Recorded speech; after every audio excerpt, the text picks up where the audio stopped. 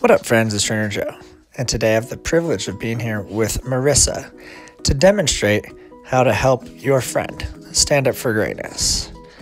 For today's exercise, we'll be demonstrating how to assist in helping someone learn to build strength to do the complete answer movement. Inhale down, knees over the ankles, legs parallel with one another. Allow them to build the eccentric strength on the way down. Have them do a complete full sit up, lengthening the spine, strengthening the core, and then when they come forward, reach your hands out and then allow them to grab your hands as you assist them building the strength in the quads, glutes, and core to stand up for greatness.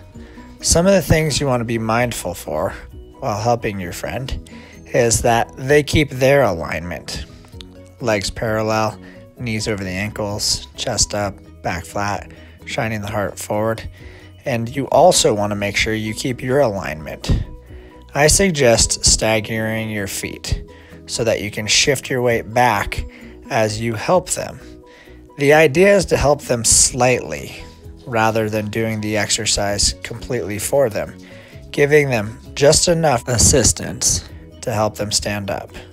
And then repeat have your friend inhale down with control, doing the eccentric portion of the movement. Get a full sit up in, lengthen the spine.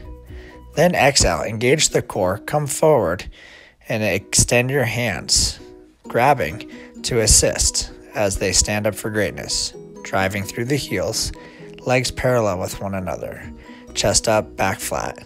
Utilize your strength and mobility to help stabilize them as you stabilize yourself, and then repeat. After the course of a few days or weeks, your friend will be able to do the answer movement completely on their own as they improve their mobility, strength, balance, endurance, and stamina. And as we all continue to help each other stand up for greatness, please remember that you are the answer.